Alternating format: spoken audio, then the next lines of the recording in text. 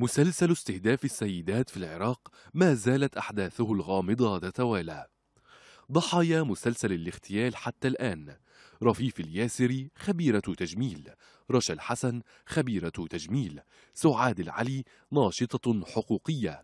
تارا فارس ملكة جمال بغداد. الاغتيالات تركزت بالأساس في محافظتي البصرة وبغداد.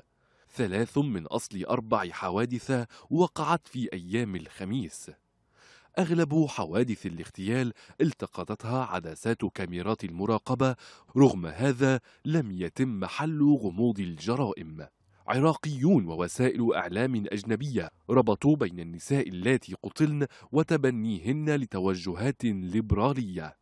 تكرار حوادث الاغتيال دفع كثيرا من جميلات العراق للتفكير في الهروب من البلاد خاصة بعد تحذيرات طالت بعضهن. يوم الخميس هو المعروف عند كل الناس إنه هو العطلة الويكند الناس تطلع تفرح تمارس حياتها بصورة طبيعية.